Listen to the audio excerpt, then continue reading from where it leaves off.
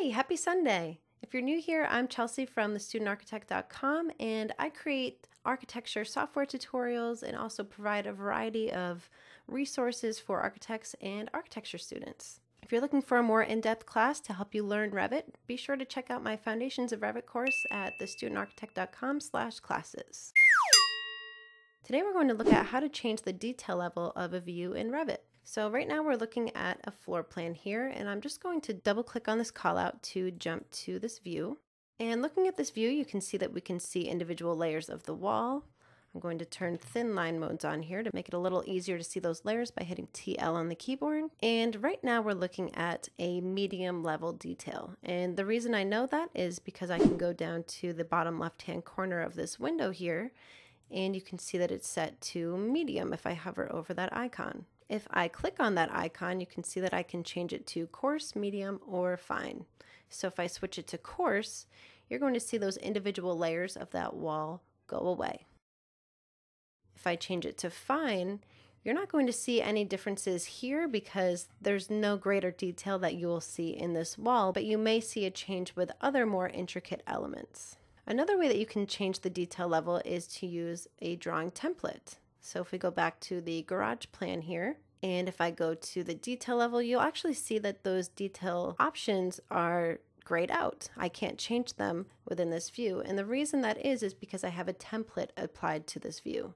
So if I go over to the properties panel and scroll down to identity data, you'll see view template here and I have the floor plan view template applied to this view. So if I click on floor plan there, you can see under detail level, it's set to medium. So any view in this project that has this template applied will have a medium detail level. And I can change that to whatever I wanted to. So I could change it to coarse and hit apply, and then you'll see the detail of those wall layers go away. Now, if I uncheck include from detail level and then I change it to medium or fine, I hit apply, you'll see that that change does not populate to that drawing. And that's because it's not included within this template. Again, if I check it back on, set it to medium, hit apply, you'll again see the layers of that wall come back. So one reason why you might want to uninclude a certain category or parameter from a view template is if you wanted to have these global settings applied to multiple views throughout your project, but maybe there's one particular thing that you don't want included uh, more globally, something that you wanted to be able to change more individually per view, that is when you would want to uninclude it. So you would uncheck and then you can individually change the detail level per view. So if I uncheck include for detail level, hit OK, then if I go into this drawing that has the template applied, you can see that the template is still applied to this view, but now I'm able to individually change the detail level of the view.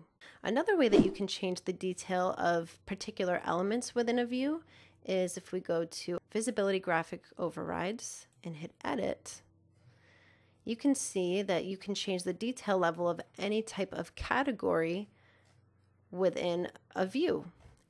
And since this is a view template, it's going to apply to any view in this project that has this template applied to it. So let's say just for the walls, let's say everything else I want to be a medium detail level, but for the walls specifically, maybe I want them to be coarse. So everything else is going to be by view, which if I move this over, you'll see is medium, and just the walls are going to be coarse. So I'm going to hit OK, hit OK again, and again, you'll see that detail of the wall go away. So there's always multiple ways to do things in Revit. You just need to find what works best for you and your particular situation. I really hope that you found this video helpful, and if you did, please hit that like button. And if you haven't subscribed, go ahead and subscribe. It really helps out my channel and it helps YouTube know that you like content like this, and it'll give you more of it. I hope you have a great day, and I'll see you next Sunday.